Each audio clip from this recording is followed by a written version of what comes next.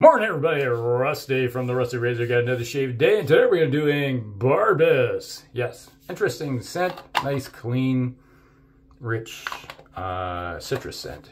Kind of uh, citronella, that's the best way to describe it. I like it, it smells good. And then we're going to be using the first use of the Gillette Wilkinson Sword Blades with the Merkur 34C. Yes, nice little combination to go together. Blue. And then we're going to follow up with some Barbus Aftershave Lotion. This one is a Prestige. It smells good. I like it. Yeah. Smells good. To my nose, it does. I had a choice. I was going to go with this one or the other Barbus product. This one here from Slovakia. This one's similar scent as the, uh, the, the soap itself, but the the Prestige has just a little bit extra that I just like. So I'm to use that today. Okay. All right. How's your day going? Mine's not too bad. Just up and about today.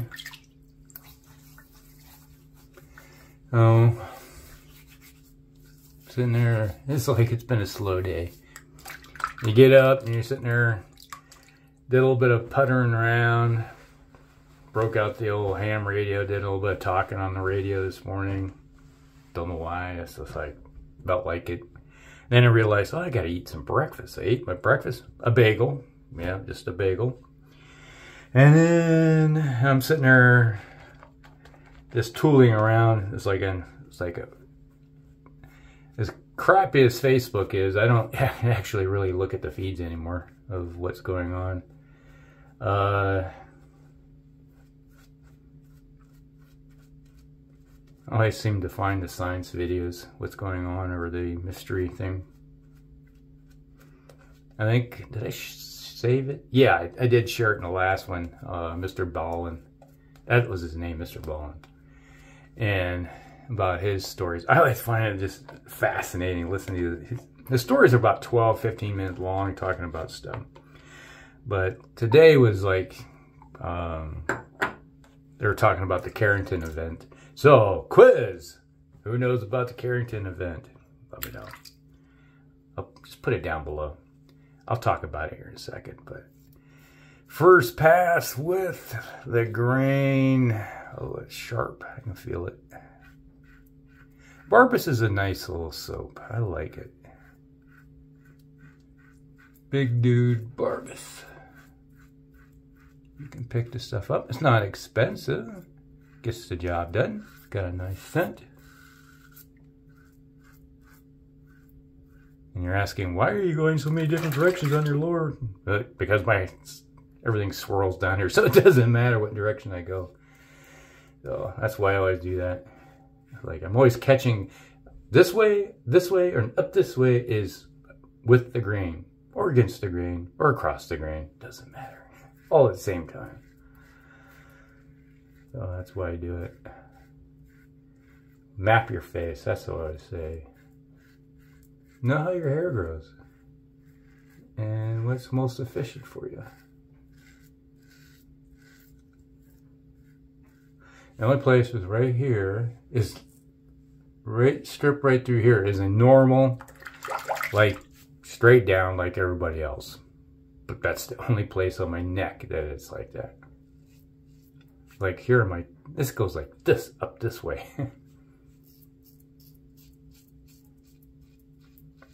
And I don't have any hair right here. There's none. Zero. Like the uh both my two of my brothers got goatees going on now. They always seem to grow a goatee during snowmobile season. And then it takes them a while to get rid of it if they do get rid of them. They keep asking why don't you grow one because I hate fur, okay? And what? I like, I can't stand having hair on my face. This, ugh, drives me nuts. So every time I shave, I'm always trying to get every little bit of it gone. Because if I find a little bit on it, it drives me nuts all day. Because I'll know it's there. But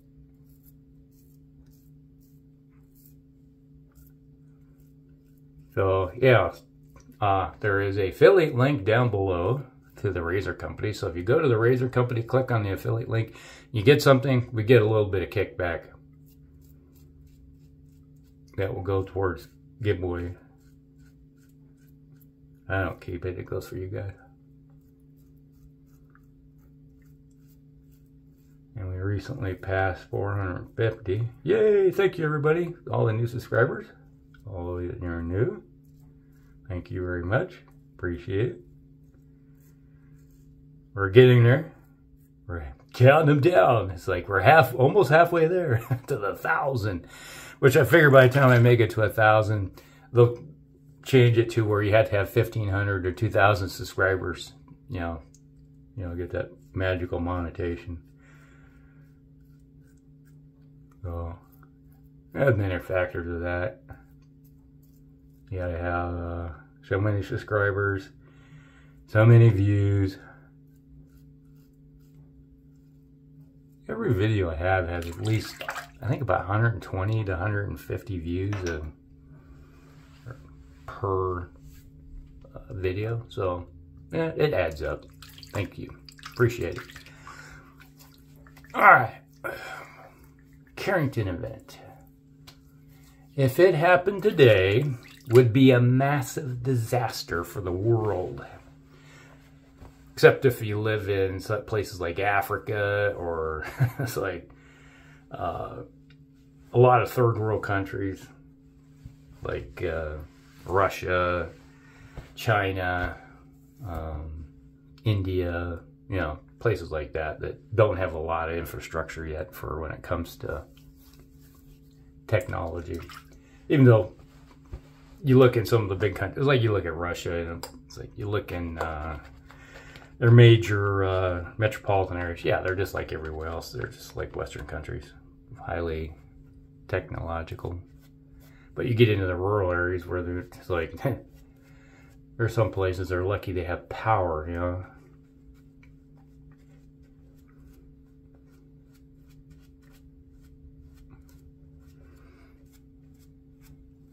You know, they're still trying to get over their Marxism. Well, it, it's hard to say if they're still communists or not, Russia. Uh, technically, they're not, but, you know, totalitarian, authoritarian state. Yeah, okay. A little bit of politics there, but... Uh, Carrington event was a result of a solar flare that just impacted us directly. See, most of the time, we have solar flares, solar flares, yeah, I can't even talk today. Uh, they hit our planet and you see them in the form of uh, um, northern lights. Aurora borealis is the uh,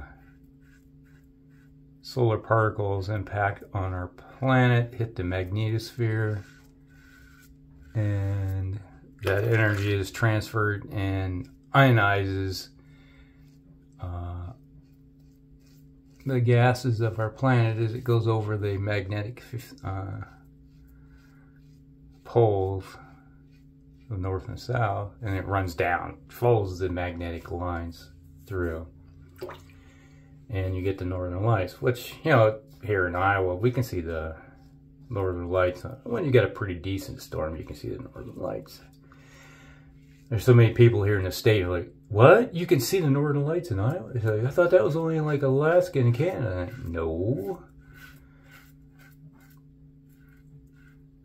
In the uh, Carrington event, it was a ma we got hit directly from a solar flare. It just massive, heavy duty solar flare hit the planet. And they had uh, they could see the northern lights down in Florida and Texas, you know, those places. That far south. That's how strong it was. And this happened in, what, 18... Was it 1860 something? It was like during that time.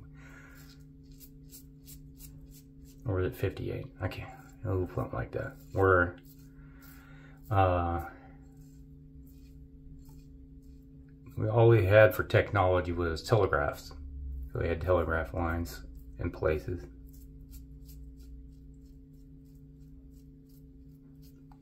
So that was your high-tech thing where you just like send Morse code over the lines. And the blare was so strong that uh, operators did not even need batteries to send the signal. So they, uh, everything was energized and they could just send signals down the lines free of charge. In some places, the telegraph lines caught fire were actually glowing. That's like a light bulb. Because that was how much energy was impacting on the planet during that time.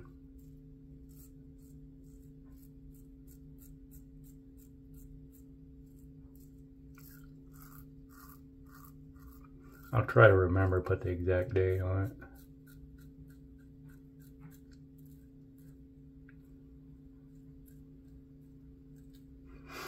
There was a uh, scientist, was it, what was his name? Miyake, I think? They call it now the Miyake event, where he was taking uh, samples of trees and core samples and was able to uh, look at the um, radioactive carbon dating and see in some of these years there was the equivalent of a Carrington event, but a ma more massive scale. That was like three or four times more powerful than the Carrington event.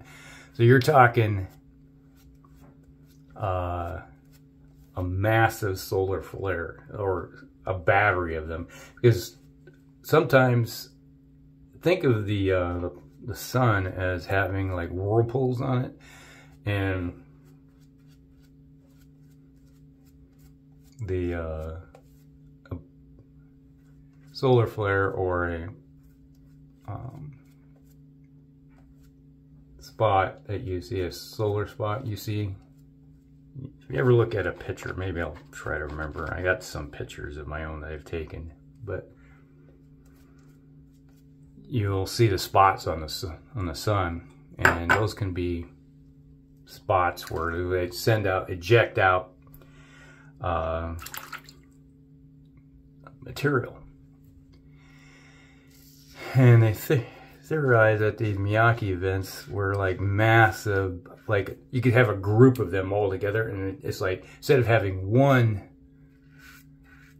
uh, solar flare, you got a group of them, let's say two or three or four send out a flare and they're all in the same direction and they aim right for the planet and they hit us directly instead of a glancing, they just all smack into us. It's like the perfect storm type thing where we just get hammered. If it happened today, we would lose all technology that isn't protected by a uh, Faraday cage.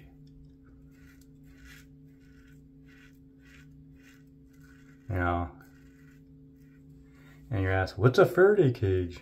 Well, is a, um, like a wire cage, like a chicken fence, but narrow, smaller, uh, wire that surrounds you or your object or something and signal can't get in because it hits the cage and it and it's grounded and it will uh, ground any energy that comes in and you'll uh, protect what your devices are and stuff. I sort of have something similar to that I made myself. I got these uh, 20 millimeter ammo cans I got in the army. I got, uh, how many is it? One, two, three of them and one of them I got foam inside which I can put my uh,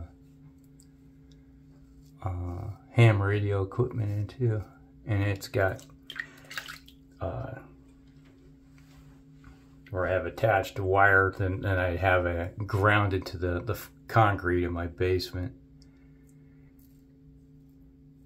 so I can store all my radio equipment. I got it where I can throw in a, you know, I had a, for the laptop, throw the laptop in there. Should think about making a, a larger one, feel like the desktop. Throw your phones in. He's like, you know it's going to happen, throw your phones in. Your laptop, my ham equipment, you know, my radios. And when it hits, all that stuff is protected from the energy output that will fry their circuits. Now, you probably will, like outside, your cars and trucks will be fried, so you won't be able to get anywhere. Unless you have, like my 60 uh, 9 Cougar, if it was running at the moment, which it's not, because I need to replace the uh, fuel lines on it, fuel tank if it was running, I just would fire right up because it, it's low enough tech that, you know, doesn't have CPU or anything. It's just analog uh, push carburetor type thing. Get spark plugs in it, but that's not going to be an issue for it. So, and the uh, you know, stuff like that, low tech equipment will still be operational. But an event like this, you probably will lose every single vehicle, your motorcycles, unless they're low tech, carbureted, without any uh, electronics on board. You know, it'll be fine, but you would say uh,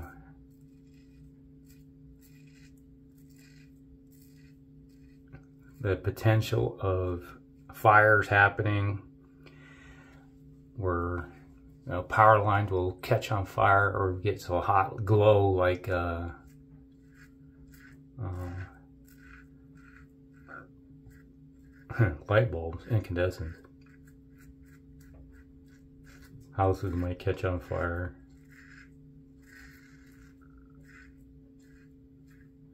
all electronics. You won't have your phones, cell towers are gone. We'll go right back to the 1800s, 1850. so,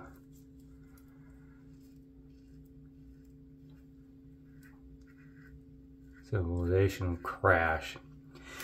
So just think, all those major cities, like say New York, LA, uh, London, you know, you name it across the world, China, you know, all of major cities. The entire infrastructure crashes where you have no ability to get food to them. And they start starving, they get hungry, they start eating each other. Hey, my neighbor down there, he's a little slow and he's big. Mmm, let's put him on the Barbie type of thing, yeah. Law and order is gone. You look at, in a blackout, let's say New York City, how quickly, within hours of a blackout, they're, they're burning the place to the ground. Now just think about weeks and months.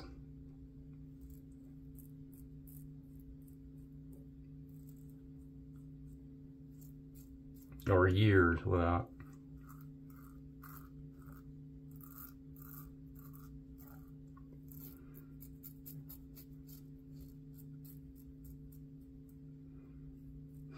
And it can happen at any time. And we're coming, which the wonderful thing is, is we got another solar cycle ramping up. So we went, came out of a solar minimum that uh, helped cool the planet a bit. But now we're going into another solar maximum, which helps heat the planet. Oh yeah, you probably didn't know that either. But the sun is a major driver of our temperature of our planet. And when it you get into a solar maximum, get more solar output, which helps heat up our planet.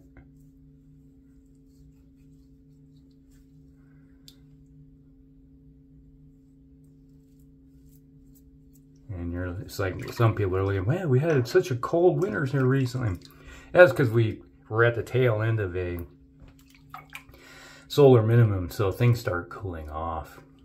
Yeah, so it's an 11 year cycle.